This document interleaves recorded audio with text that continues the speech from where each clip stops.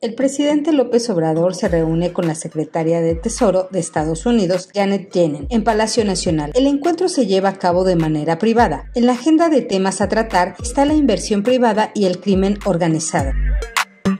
El presidente Joe Biden dice estar dispuesto a hacer concesiones en las negociaciones con los republicanos sobre las demandas de reformas en la frontera con México, si a cambio aprueban más ayuda para Ucrania.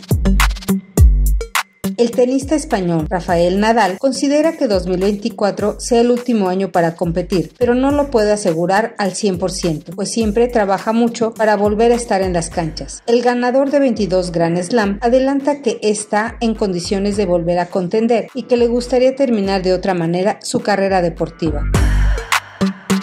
La Chiquis, hija mayor de Jenny Rivera, ha lanzado un mensaje muy inquietante a través de redes sociales. Al parecer teme por su vida y destaca quiénes serían los culpables. Yo solamente he hablado lo que siente mi corazón. Dejo claro que si algo me pasa, ya saben de dónde viene.